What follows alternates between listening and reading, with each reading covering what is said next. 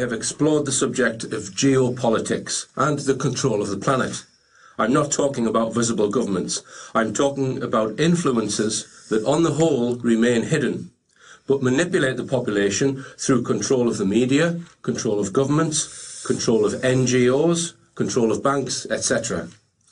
Now, one document which some people believe is a handbook or a manual used by the elite in order to subvert, dominate, and rule over the mass populace is the Protocols of Zion, written probably sometime in the 19th century.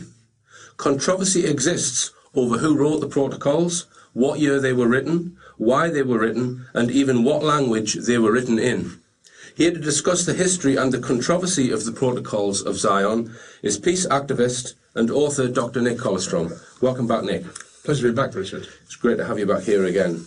Now then, um, you were telling me before the interview, Nick, uh, the amount that, that the protocols have actually been read. I was quite surprised at what you were saying there. You said it's the second most popular book since the Bible. But that's what one hears. Yeah, it's been continuously in print, translated to every language on earth uh, probably the most widely read book, second to the Bible.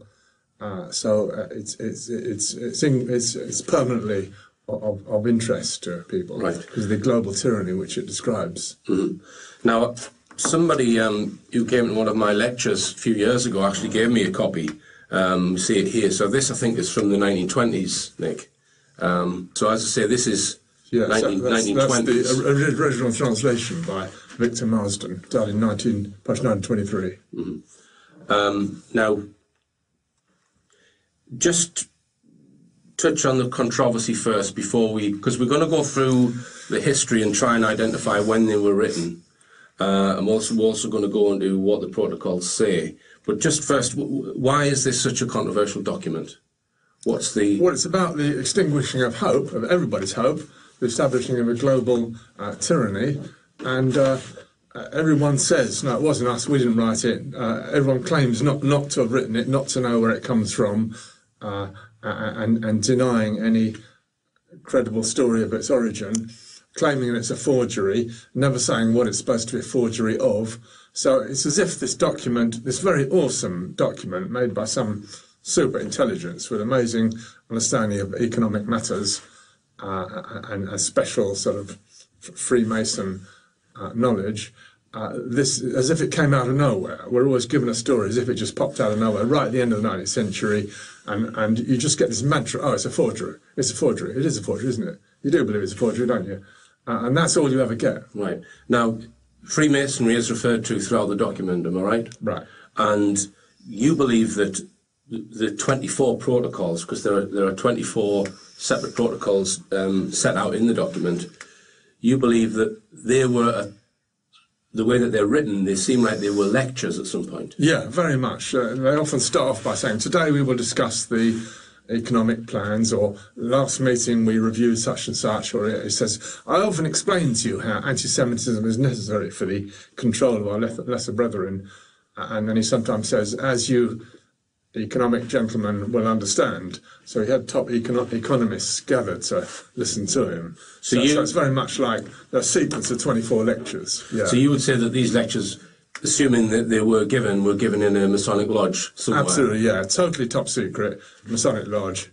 Uh, and the whole thing is centred in France. It was, would have been in Paris. Right. Uh, and one can't help suspecting a special, around about 1812, uh, the, the Mizraim Lodge became permeated with with sort of Hebrew uh, he, Hebrew Jewish uh, rituals and protocols, uh, procedures.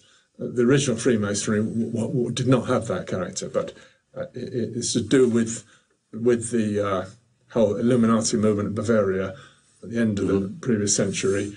Uh, you, get the Mizraim Lodge in Paris being an obvious suspect centre where this is likely to have happened. All right, we'll go through some of the more detailed history a little bit later. Um, I just want to mention this book, uh, Behold a Pale Horse, by Bill Cooper, who felt it necessary to publish the entire protocols in his um, in his book. And the other document that he that he published was the um, Silent Weapons uh, for Quiet Wars, which was discovered a lot later than the Protocols of Zion. So Um, yeah, I recommend this book. Uh, the protocols are published in here, but pe- people can find them on the internet. Yeah, the protocols. yeah. So this is 24 protocols. What? Maybe four or five pages on each one in, in, in the document, which set out how they are going to dominate the goyim, as it's as it's explained. so yeah, just yeah. because obviously the, the, the two words that are used in, in the document are uh, the Jews and the goyim. So um, we're trying to determine what is the true history, what's Yeah. the true origin, Yeah. what was the purpose of. Because there's controversy over why they were written. But so just explain what goyim is and what what it's. Well, the only other place in world literature where goyim were used in the same you know, deeply contemptuous sense as, as the, the, the rabble, the rest of the human race, is the Talmud, Babylonian Talmud. Uh, so that immediately gives you a sort of perspective. I, I would say this is uh, this is a ta- Talmudic Jew at, at the top, a 33 degree Mason. Um, who, who wrote this? And- who gave the course? Yeah. they're referring to the mass of the population in a very um, disparaging way. Uh, as I say in one of the protocols, the Goyim may amuse themselves as they wish until the hour strikes. Well, let's because you've picked out a few of, of your favourite quotes, Nick, from the, from these protocols. Let me. Um, and what I'm going to do is I'm going to read a selection of quotes from each Right. each of the protocols, Yeah. just so that people can get a flavour. If you want to read them, you can find them on the internet. We can't. We haven't got time to recite them all in this program, but I will read some quotes from them. So Nick's just highlighted a few in uh, Bill Cooper's book here.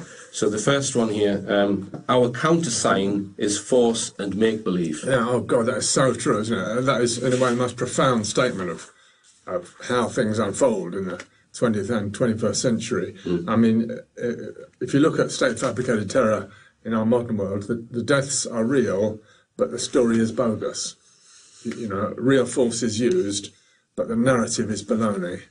Uh, so that that is really the essential combination for this uh, treacherous power taking over world control. I mean, there's endless dispute: is this genuine or, or not? Uh, that's what all the world wonders: is there or is there not such a plan going on? Um, and, I'm suggesting that uh, instead of debating that endlessly and inconclusively, we should try looking at the genesis and origin of, of, of this text. I think that would give us some light on the matter. All right. And um, here's another one that you've highlighted. Who and what is in a position to overthrow an invisible force? And this is precisely what our force is. Gentile masonry blindly serves as a screen for us and our objectives. But the plan of action of our force, even its very abiding place, remains for the whole people an unknown mystery. Yeah, well, that is strange, isn't it? Uh, w- why should it be uh, not, not findable or not locatable? I mean, the Rothschilds lived in Frankfurt. There wasn't any mystery there. Uh, the Bavarian Illuminati had a certain location. Um, I'd say this is to do with the whole Illuminati movement going into the Freemasons at the end of the 18th century, um, uh, which is a kind of hidden hidden thing. Uh, so, uh, but I, would say in our modern, world that there is a mystery who, who is doing these things. Whenever you get some state fabricated terror and and a, a fake bogus enemy is, is given the blame, you never really find out who is doing these events. Yeah, there's a, something horribly secret, but also um, uh, there- there's a unity of purpose around different places of the world where these events happen. So there is a mystery of, of, of where this thing is located. I mean, one of the words of the protocol it says, "It is from us that the all-embracing terror proceeds," uh, and and uh, what, what, what is the source that, that designates and wills that uh, terror be used in politics? And it states very clearly there that that's their modus operandi, that they will remain hidden um, so that they can carry out their plan. All right. Uh, now, what I was going to attempt to do for this show was to summarise each of the 24 protocols and, and give maybe a title or, or a short paragraph. And I Sounds it, rather ambitious, Richard. yeah, I, I found it rather difficult because within each protocol, they seem to be quite diverse in the things that they're stating, and there's a lot of overlap between each Yeah, I mean, as Solzhenitsyn said, the author is someone well above average intelligence, and the design of protocols is more complicated than a nuclear bomb. Right. So it's a very detailed, well thought out plan of how to control the media, uh, economic policy, how to undermine the established powers uh, in, in, in terrific detail, enormous ramifications by someone who clearly hasn't got his knowledge out of books. It is from real life experience that, that these things are being laid down. So what I've done in order to help me do this is um, Nick has shown me this book. Just um, give the title of that book, Nick. Well, this is uh, Henry Makow, Illuminati, the cult that hijacked the world, uh, and uh, so most viewers will have heard of him. Uh, and uh, he's got a summary, and he's got the all-important thesis, which we'll come on to, about a certain book by Maurice Joly in France, published in 1864, which overlaps with the protocols. Everyone agrees they overlap, and practically all commentators will say that the forging of the protocols was done by getting this Joly book and copying bits out of it. And Henry Makow says the opposite. He says, no, Joly I had seen the protocols which had already been composed then. Mm. I think that's terribly important, right. and I, I, will be endorsing his view. All right. So what I've done is I've, I've taken a summary of his summary, okay, mm-hmm. and I'm just going to we're going to do a section now. This will take a few minutes to get through. Where I'm going to go through each of the protocols and read a, a very short extract from each of the protocols, Nick, just so that people have got mm. a reasonable overview. Yeah. It, it, but obviously, it is not a full overview by any means. You would need to read them in order to to get to grips with them fully. But mm. he, here's a here's a flavour anyway. So, Protocol One: Morality is an obstacle to successful conquest and a liability to any political leadership. The goal is to scatter to the winds all existing forces for order and regulation and to become the sovereign lord of those so stupid as to lay down their powers and fall for liberal entreaties. Protocol 2 uh, Gentile leaders, meaning non Jewish, uh, administrators, will be chosen for their strict obedience and will be run by advisers. The Goyim can amuse themselves until the hour strikes. We have implanted the false doctrines by means of our press arousing blind confidence in these theories. The press has fallen into our hands. It fashions the thought of the people. Its role is to express and create discontent. Thanks to the press, we have the gold in our hands, though we sacrifice many of our people. Each, in the sight of God, is worth a thousand goyim. So we need to bear in mind this is written a long, long time ago, talking about that the press has fallen into their hands. Mm. Uh, protocol number three, we have made a gulf between the far-seeing sovereign power and the blind force of the people, so that both have lost all meaning. For like the blind man and his stick, both are powerless apart. So they're talking about there controlling an entire nation by making sure that its sovereign isn't connected to the, the people or the goyim. Protocol 4.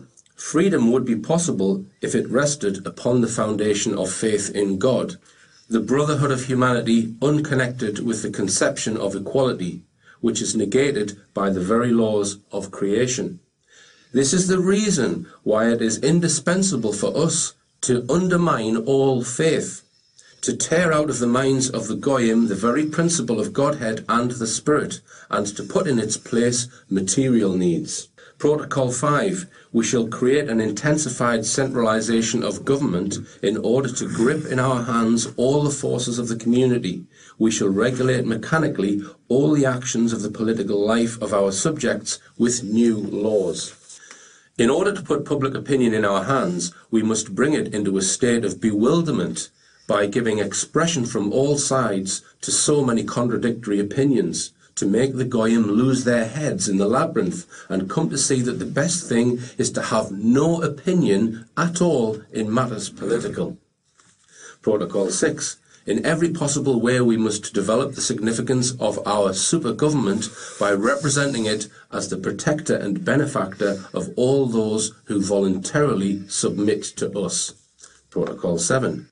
We must compel the government of the Goyim to fall in with our plan already approaching desired consummation by requiring them to obey public opinion, which we control through that great power already in our hands, the press. Protocol 8.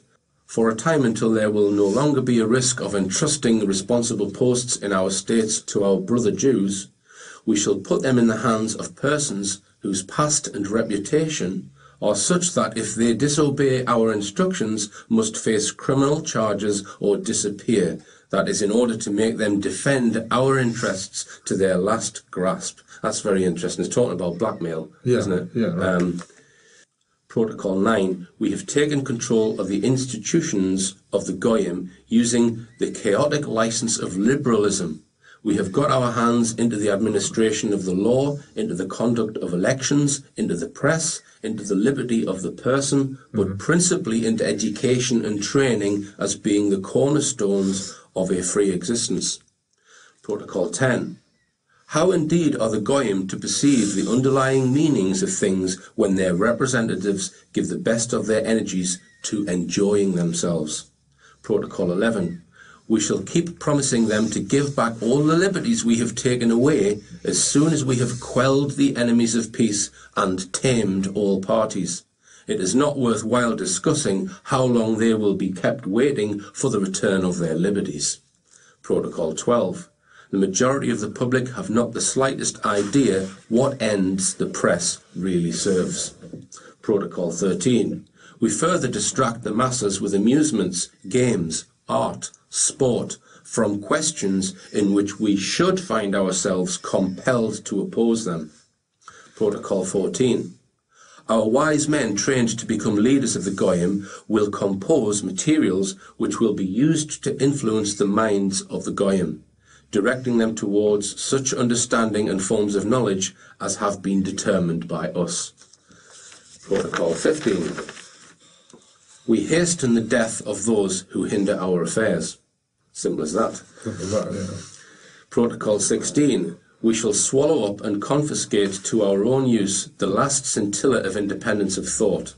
We will turn the Goyim into unthinking, submissive brutes waiting for things to be presented before their eyes in order to form an idea of them. Protocol 17. In our programme, one third of our subjects will keep the rest under observation from a sense of duty on the principle of volunteer service to the state. Protocol 18. We have broken the prestige of the Goy kings by frequent attempts upon their lives through our agents, blind sheep of our flock, who are easily moved by a few liberal phrases to crimes, provided only they be painted in political colours. Protocol 19. I hope we have succeeded in preventing the Goyim from adopting this means of contending with sedition. This means uh, to taint it with some larceny or sexual abuse, and two, to make a severe example of one offender. Protocol 20. Economic crises have been produced by us for the Goyim by no other means than the withdrawal of money from circulation. So they're talking about an orchestrated financial collapse Yeah, there. yeah. Protocol 21. In our hands is the highest power of our day, gold. Surely there is no need to seek further proof that our rule is predestined by God. All right, so that's a flavour anyway. As I say, Right. people can can read um, Yeah. more if, if if they wish. Um, all right, then. So let's now. Oh, oh, should we go back in time right the way to 1776 Right. um, to the Illuminati movement? Yeah. Uh, because obviously the word Illuminati, let's just let's just deal with that first, the actual word, because it has multiple meanings. A lot of people use the Illuminati just to describe the New World Order or uh, those who are controlling the planet, and it's a, it's it's a word which is tainted, I think, in gen- when it's used in a general sense. Yeah, well, let's be, let's realise that it had a total historical meaning at the end of the 18th century with the, the, the brilliant mastermind Adam Weishaupt. He was in Bavaria. He was the son of a rabbi, and the, the Rothschilds were funding him. And he set up this terrifically potent new movement, which posed as sort of benefactors to humanity, rational enlightenment. And it was about the dissolving of all belief, all governments, uh, all nation states, uh, undermining of all existing establishments. And uh, it then got banned by Bavaria about a decade after it was founded, and uh, it went underground into the uh, into the Freemason first three levels of Freemasonry, and uh, it then so it persisted in a underground kind of manner. Went into say America through Freemasonry, uh, and uh, uh, world leaders started getting very alarmed. What is this new power? And I would say it's terribly important to understand that the French Revolution was actually caused by uh, these uh, Illuminati agents. So, just a question before you go on to the French Revolution, Nick. Uh, so, Freemasonry was well established by 1776. Is that right? Uh, it, yeah, it had a different ca- character th- then. It was uh, it was just about you know masons, builders. It was very fashionable. It was about the divine architect. Uh, it didn't have the very sinister connotation which it then came to have uh, as Right. this new new element went into Freemasonry. But was it still ran by keeping secrets and that kind of thing? Was it still a secret yeah, it was totally organisation? secret. It was all male club, totally secret. And then um, this Illuminati uh, became the, uh, the uh, a particular type of Freemasonry that, that then then developed. Right. And uh, it's important because the protocols specifically say. You you know, we brought about the French Revolution, and, and we know the people who did it. Uh, and it is within, as it were, living memory of the French Revolution that the protocols were composed. This is a very important precursor. The ability of hidden Illuminati agents to undermine a state like that. Uh, and uh, so, historically, I would say the, the Bavarian Illuminati is, is a central component of what then became the we, the frightening, all powerful we in, in the protocols. Who are the we? Uh, and that they are they are top level Freemasons. They are the old Illuminati. They are Talmudic Jews. They are international bankers. Uh, and, and, and these kind of work together in this frightening we of the protocols. Right. So 1789 is the French Revolution. So you would say, without any doubt, the protocols must have been written after 1789 because Totally, it's, yeah. it's referring to the yeah, French yeah, Revolution. So just tell us how this small group managed to orchestrate the French Revolution. Oh well, I'm not Is really a historian, Richard. I can't really go go, go into that. Uh, but uh, academic historians will totally dismiss this claim that they'll say that's just a conspiracy theory. So I think it's terribly important for viewers to evaluate whether they want to believe this or not. That underground, hidden uh, current uh, from the strictly banned Illuminati in, in Bavaria, uh, th- th- they did bring about this this event. I, I, I- I feel there's enough evidence that that did happen. And that, that is then followed by the next stu- stupendous event after the Napoleonic Wars. The Rothschilds take over the Bank of England. Okay, so one family dynasty gets awesome power that no family on this planet had ever had before. Uh, takes over the Bank of England, and then the, the French, also the French currency.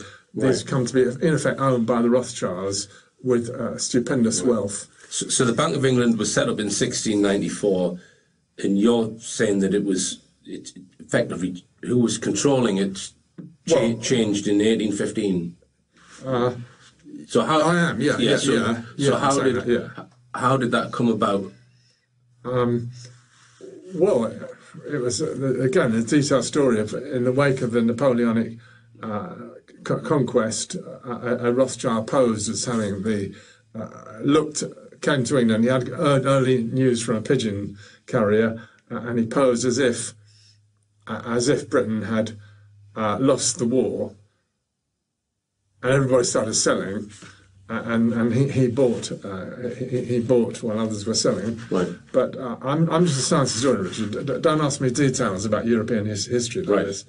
Um, I, I- can just gi- I'm just giving you the overall uh, sketchy background why I think the protocols were composed around about 1830 or 1840. Uh, and it was in the wake of these tremendous events that a dynasty uh, came to came to have power over national currencies, and the idea of being able to manipulate states by external debt, which they wouldn't be able to repay.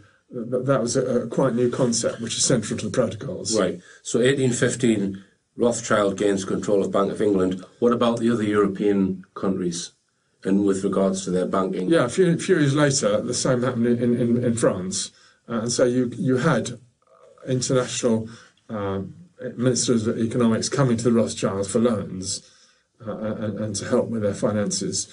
Uh, and and uh, I'm saying that is the situation which, which enabled the protocols to be conceived by the great mastermind who was at the, the Mizraim Lodge, in Paris. So, uh, so this was a Rothschild, and he was giving a sequence of lectures, and he had top economists listening to him. Right. Uh, now, um, there's a book written by Maurice Joly, who you, you mentioned, um, entitled Dialogues in Hell. Yeah. So we know when that was published, yeah, 1864. Yeah. Right? So just to give us a background to that book. Well, everybody agrees that these two books, the two texts, copy off each other. One is copied from the other because there's overlap. Nearly one sixth of the protocols overlap with the Maurice Joly book.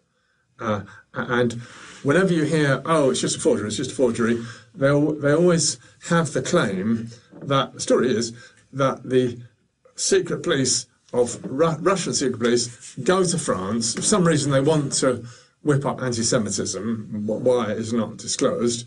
And, and they have the totally bizarre concept how to do it by going to France, in Paris, finding the Maurice Joly book, which has been confiscated, and there may not have been any copies in Paris then. They may have had to go to I don't know Istanbul or somewhere to find a, a remaining copy, and they then copied off that book hmm. to produce the protocols in French. It was written in French, and then take it back, and somebody has to retranslate this thing written by French, written in French, back to Russian. So I would say this is a story that makes no sense on any level what, what, what's- whatsoever. But that is the story of it being a, a, a, fraud, uh, and, and uh, Am I right in thinking that the protocols themselves are a lot more extensive than what um, Joly wrote in Well, Dialogues in Hell? Yeah, Joly's book has nothing about anti-Semitism. I don't think it's got anything about Jews in it. Actually, uh, he was himself a Jew, um, uh, and uh, he was in the same Mizraim Lodge, uh, so he's a Freemason. So he's bound by oaths of secrecy, what he's allowed to say. Uh, and, he, and he said, I, I would say the meaning of his book, Dialogues in Hell, it's terribly important to read the preface of it, where he explains what the book's about, uh, and the terrible new thing he's seen which if I may just read th- these words, because this is always ignored. I, I would say he's in a state of despair because he's seen the early draft of the protocols, right? And not just that, but he experiences something which is working in the body politic, and he can't see anything that can stop it. And it's within his living memory that it began. That's what he said. I'll just read out. Uh, one political system in particular has not varied in its methods for a single day since the unfortunate and alas already too far away date of its inauguration. So the plan, protocols, has begun, right? The supernatural duration of certain successes in this field is furthermore intended to corrupt honesty itself. So whatever's happening is so powerful and potent that he almost feels that it's supernatural. But the public conscience yet remains, and the heavens will one day interfere in the games being played against it. So he feels as if heaven itself is needed to stop this plan, whatever it is. Then, about uh, some years after composing this text, he commits suicide. So he's in kind of despair. He writes this text to try and tell people what he can about it, uh, but he's not allowed to say more. Uh, and and uh, so I would say he is he is a person who's seen the early draft of the protocols, uh, and and, uh, it, it doesn't make any sense to put it the other way around. Because, because if you think about it, the method, let's say it's a genuine document, the method by which it's been discredited is a method similar to those methods explained in the protocols. Yeah, exactly. Yeah, yeah, i.e., oh, it was just done to discredit us, we're going to blame them over there. So- Yeah, of, yeah, yeah. Uh, Uh, the, the, the discrediting happened uh, synchronously. 1920, 21, uh, all the suddenly all the different countries had articles, New York, Paris, London, claiming, "Oh, it's just a forgery, it's just a forgery," uh, and giving it a weird and extremely unlikely story about how it's forged. Uh, uh, okay, uh, uh, and, and as you say, that is showing the methods which given in, in the protocols. Yeah, the, the protocols composed in two sections. It's terribly important to understand. We've looked at the basic composition, the whole stupendous 24-fold argument, and I'm saying it as one genius brain composed that, and it has to have been early in the 9th century, not later. Everyone says, oh, composed at the end of the 9th century. Well, there are bits in the protocol, such as referring to the metro in Paris, about it. But those are cosmetic additions, okay? The First Zionist Congress in Basel, uh, as if it was being polished up for that, uh, and certain additions, you see, refers to some people, politicians have some stain on their character, some Panama. So Panama was some debacle in French politics uh, recently happened at the end of the 19th century, okay? So those are slight additions, and possibly the title, Protocols of Zion, possibly that title is added. But the all important thing to understand is that the whole, the whole focus of international Judaism at the end of the 19th century was Zionism. That was the big issue. That's what the whole Congress was about, to try and get home for Jews, right? And the protocols got not a word of Zionism in them, not a word, okay? So they, they were composed at a much earlier time before the great Zion, dream of Zionism had blossomed. That's why they cannot possibly have been composed at the end of the 9th century. So I, I, I would say we need to have these two phases in mind of the basic composition and then slight touching up additions at the end of the 9th century. Okay. And when, because it wasn't, it didn't appear in English until 1920, 1920 but we'll come on to that because we've got a few other things to cover first. Uh, 1894, you get the copying of the protocols. Somebody called Glinka, a Russian lady, gets someone in the Mizraim Lodge, pays him to copy the text, and she takes it over to Russia. Uh, and she then gets a translation. So that is when this top secret docu- document gets smuggled out, uh, and, and the, the guy who's copied it tries to escape, but it, it, quickly gets bumped off. So when, when the protocols go to Russia, they're, they're written in French. Yeah. Someone in Russia translates them into Russian. Yeah. And then they're then retranslated back into French. Is that right? Well, translated basically into English. All right. But there was From Russian French, into English. Yeah, but uh, there was. It did also happen back into French, but the original. There's no trace of the original French document. That's part of the kind of paradox, because obviously the powers that be, or, or the powers described in the protocols, uh, want in every way to destroy any evidence of the existence of this document. Mm-hmm. Uh, for example, a whole series of the protocols uh, was published in issues of a Russian magazine uh, right at the beginning of the 20th uh, century, and none of those whatever still exist. They've all vanished. Right. So they were published in Russian at the beginning of the 20th century. Um, now, but they didn't appear in English until 1920. The owner of the Times uh, newspaper was interested in them. Lord Northcliffe, yeah, yeah. Right. So Let's just say Sergei Nilus, a Russian monk, obtained this copy in 1901, and then he published his book about the Antichrist in 1905, which contained the Russian text of the protocols. That's the main text, and a copy of that now resides in the British Library, and that may be the only one left, as far as anyone knows. and uh, that copy of the British Library was then used for the English translation, of which you've got a copy there. Mm-hmm. Uh, appeared in, in, that published 1923. Um, uh, but in 1920, the English-speaking world became aware of the protocols, and immediately the sort of mass media went into action saying, "Oh, it's just a forgery, just a forgery, just a forgery." Mm-hmm. and uh, this fellow you mentioned, Northcliffe, one of the most powerful people in, in Britain, he owned the Times and the Daily Mail he wrote an article saying, well, what is the extraordinary prophetic power that these protocols have? Can we have some inquiry into where they came from? Because the main thing that struck everyone when they appeared in English was their prophetic nature, because the whole Bolshevik Revolution, uh, it was evident that they had appeared totally following instructions given in the protocols, okay? And uh, anyone in communist Russia having a copy of protocols as a death penalty, right? That was in place for about 40 years.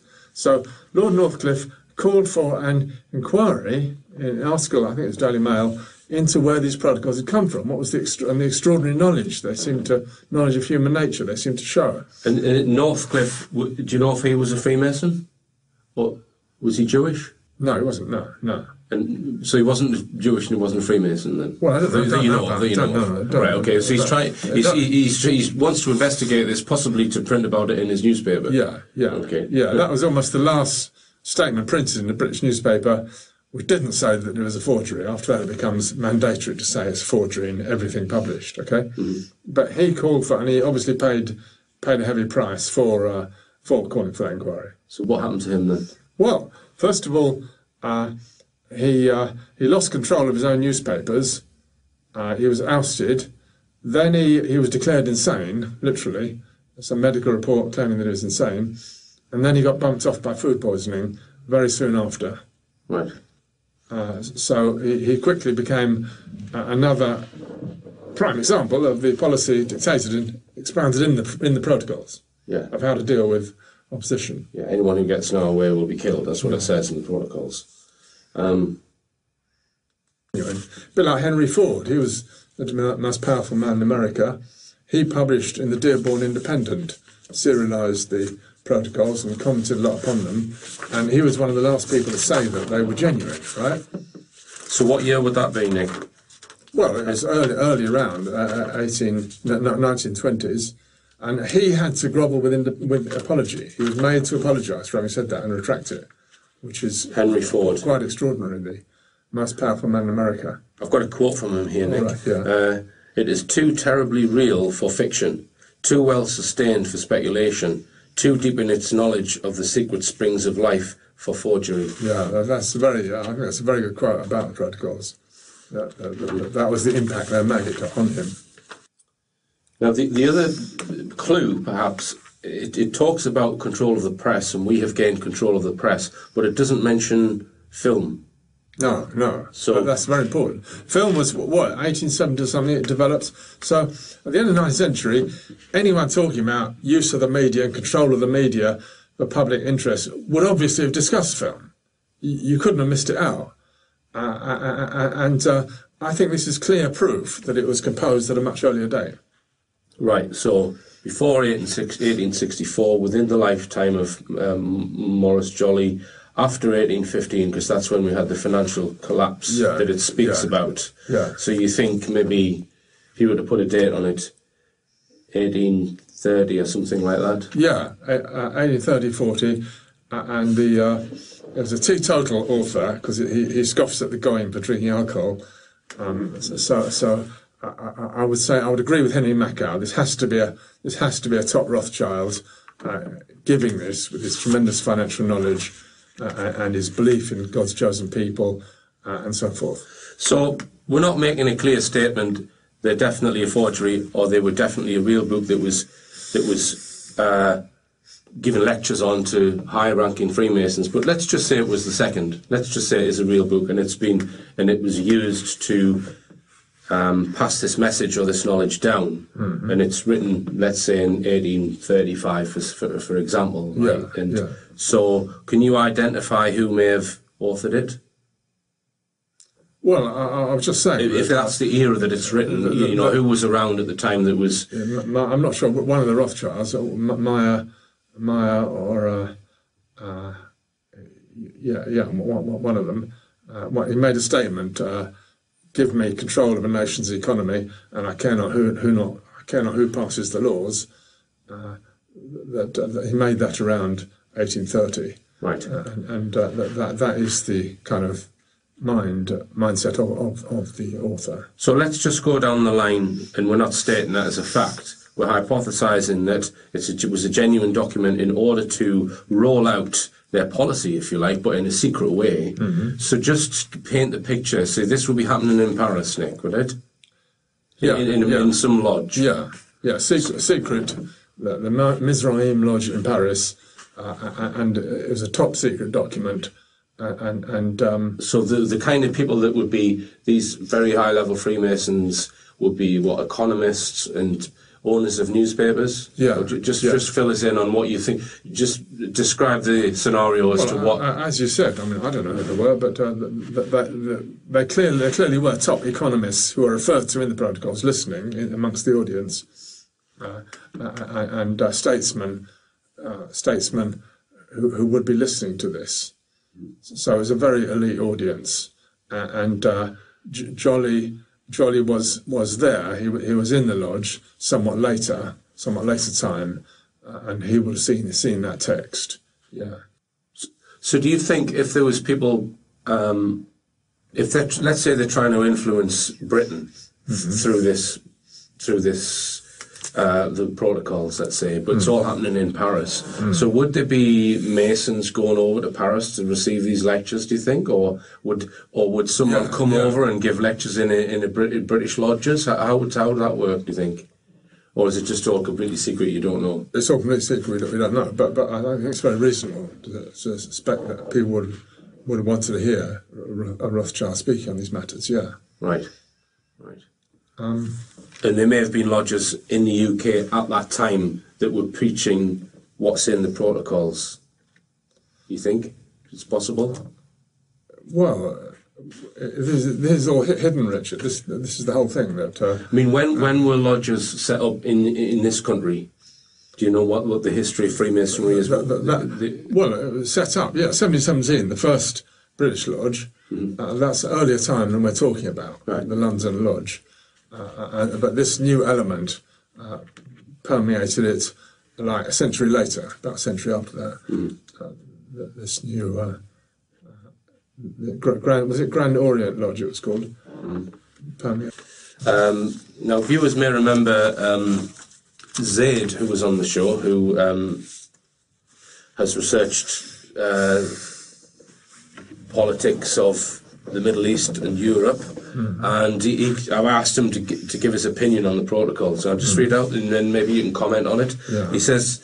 I'm not sure if anyone actually believes the protocols were read verbatim in their published format at some congress of Jewish Yeah, leaders. no evidence for that. yeah. However, there is likely a spectrum of belief amongst interested parties ranging from the mainstream assertion that they are wholeheartedly an anti Jewish forgery to the belief that they are in fact a dramatised version of other genuine source material. Whatever the origins of the protocols, they do in fact describe so well the means that elites control societies, whoever we identify those elites to be. If we move away from the perpetrators discussed in the protocols to just the means of control described, which are provably true, if a significant number of the masses became aware of this information, it would be incredibly dangerous for those in positions of power. What is described in the protocols was going on longer than their purported creation, most certainly throughout the 17th, 18th, and 19th centuries. The papers and media back then worked in much the same way as they do today, manipulating the masses. So, in that sense, the protocols are not so revolutionary, yet remain an accurate, albeit generalized, expose of how the world really works. There are many truisms within the protocols, and comparisons such as the masses being like cattle is an accurate one. The mechanics of power that are utilized because of this is a reflection of this unfortunate state of human affairs. Yeah. So that's Zaid's comments. Right. Well, um, I, I, I, I'm not disagreeing with anything there, but uh, I, I feel if we get a historical account of the development through the 19th century, uh, it's it's more helpful. Uh, and um, may I perhaps add, Richard, that uh, in terms of them coming out of France into Russia, that is so interesting and important. Uh, there's a son of Nilus. Nilus is the guy who published them, and he testified. There was a trial at Bern I think um, 1935, uh, somebody accused or trying to stop them publishing the protocol. So there was actually a trial in which a lot of stuff came out. And he testified that his father had received the original version in French. That he had received it and, and, and therefore presumably done his own translation. Uh, and I, I think that's important independent testimony from the son of the guy who published it because his what he published, his book, has never been translated into English. People have wished. That's one of the things people like uh, Lord Northcliffe said. Wouldn't it be a help if we could have an tr- English translation of what Nilus um, published, which uh, uh, you know is impossible. Like anyone, most things trying to investigate the protocols, you just come up against a brick wall. No, you can't do it. No, we lost the text, and so on. So I think that's an important uh, uh, important step of the argument. Right. Uh, and uh, as I say, it was around n- 94, 1894 that that really happened of the of the protocols being taken over to Russia. Uh, and you first from then you, you begin to get people testifying and they've seen the, the original copy or an original copy, uh, and there's more than one translation in, into Russian, uh, uh, and uh, I think that gives a bit of historical depth. As I say, so this is immediately prior to the first international congress.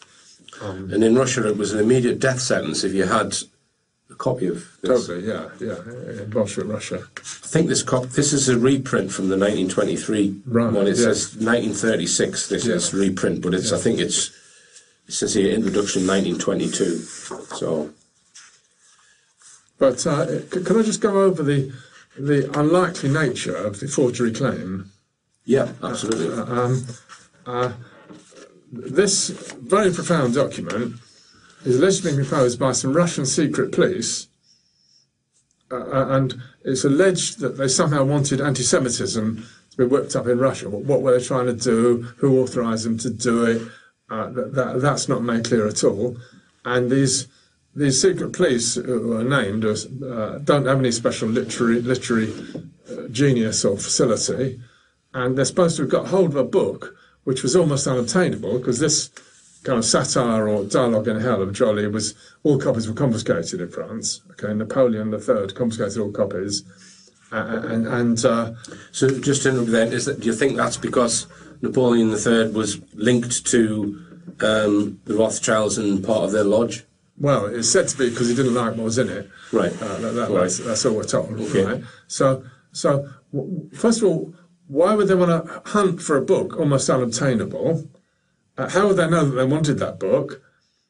And uh, when they got it, it hadn't got anything about anti-Semitism in- it. It was it was a it, it was a, a, a dialogue about a tyrannical political system. Uh, and why would they want to use that to compose this uh, text? And then, why would if they composed the text in French? If you imagine they did do it, why would they want to give it to an obscure Russian monk who'd have it in his possession for years, on the supposition that he might then translate it back into Russian? Uh, I mean, n- none of that story makes any sense.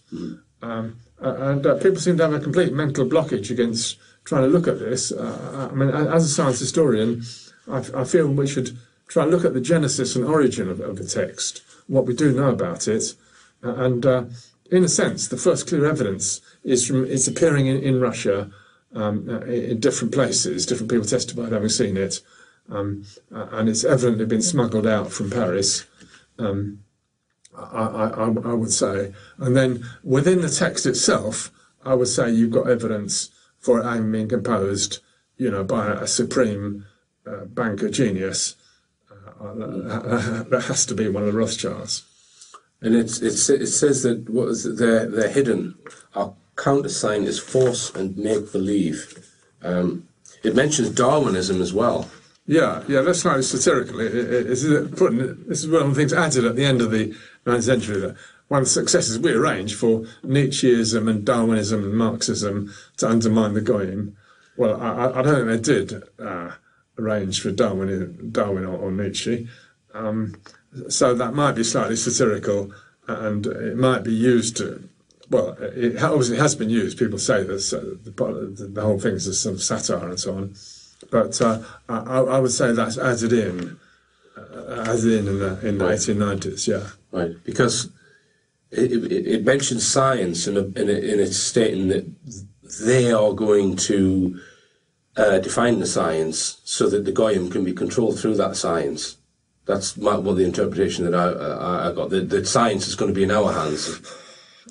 And, and so, and it gives Darwinism as an example of how it's science which is being used Well, the idea that they can control universities' Yeah. teachings that that's to, in order to confuse and perplex the Goyim. Yeah, they do say that. Yeah, yeah. Um, yeah, this is unusual. Who and what is in a position to overthrow an invisible force? Yeah, well, can I um, end on a note, note of hope here, Richard? Can I, a note of hope, right? The solution, if you've got an unseen controlling power, which you can't quite locate, you don't know who it is who's controlling you, the solution is just to stop having a financial system in which money is created out of nothing. But that's what gives the godlike power to these people, uh, that they can print money whenever they want and charge you interest on it for just having the money. That's what started in 1694 with Bank of England, so-called Bank of England. Uh, and uh, countries need a banking system. This is the worst crime, the most terribly punished crime uh, in the modern world. Having your own banking system, which is not linked to international Rothschild finance, and, and that is the solution, and it's the only solution. Uh, as long as we keep with the finance we've got at the moment, you're giving unlimited power to the hidden ones, who will always control you.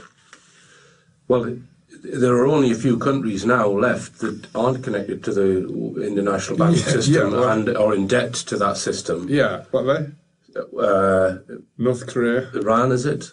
They're all the ones on the, on the Iran. list. Yeah, yeah, Iran, Cuba, uh, you know, Syria. Uh, but it's, it's in a situation where the, the the momentum that they have with the system, world monetary system that they have. Yeah. Um, how, how do you how do you reform it and change it and actually get into a situation where the currency is originated as a credit for the people? It's not being loaned to yeah, a government. Yeah, well, this is the power that the author of the protocols claims it has, the, the, the we, the dreadful we. It says that the government cannot organise themselves sufficiently to resist what we, we've done. It's completely dumb of them to allow us, us, to give them money that charge interest at source, but they cannot, they cannot, um, they cannot get together sufficiently to oppose what I mean, here's another way that I sometimes express it, Nick. It is not possible for a government, a sovereign government, to have any debt when its currency is a fiat currency, right? Because the sovereign government should be in charge of that currency and the issuance of that currency. So therefore, it's not possible for a sovereign government to have debt. It means it's not the government. Right. means the government isn't really our government is not really a government because it, because it could write off its debt if it was a government, couldn't Yeah, it? It could, yeah. you could just print that money. Yeah, right? it hasn't got the authority to. So your government really, I would rename the government. Where the, the government is whoever is is originating that currency. As the as the Rothschild said, give me a control of a country's money, and I care not who makes its yeah, laws. Yeah, and right? this is one of the key bits where the Joly text overlaps with the um, protocols. And I could sort of throw in they have 5% interest charged to nation states for international loans. Uh, and that's one thing that you, find both in the Joly text and, and, and, the, prot- the protocols. And, and, and, and as you say, that is that situation that. Uh, that, uh, that, that is the technique of control. Yeah, And there are so many things, if you go away and read them, there are so many things, when you read them, uh, you think "S- it's happening today.